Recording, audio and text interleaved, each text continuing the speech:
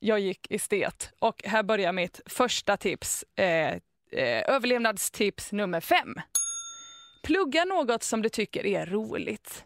Alternativt någorlunda intress, intress, någonting som du är någorlunda intresserad av.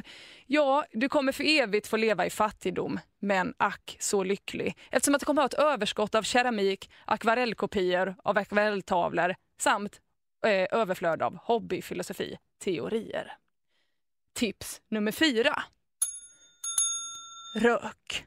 Ja, du får kompisar, du ser cool ut samtidigt som du får frisk luft. Plus att du kommer dö i förtid är lika med väldigt bra om man snabbt vill glömma sina trauman från just gymnasiet. Är vi fortfarande på gymnasiet nu? Den här rökningen kom in som coolt verkligen.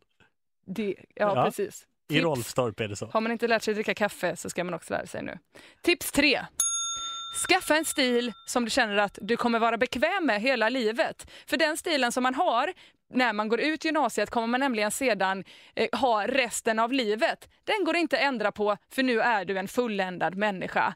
Jeans och t-shirt kommer med största sannolikhet funka i minst tio år till.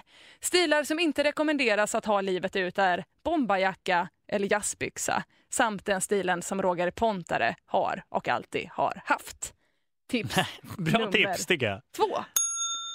Ligg inte med någon. Det vill säga om du är tjej. Låt istället killarna ligga med varandra. Detta minskar risken för homofobi senare i livet samtidigt som du slipper kallas för hora via ryktesspridning.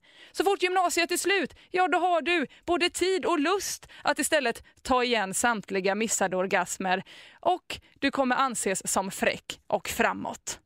Tips 1 det bästa tipset. Skolka.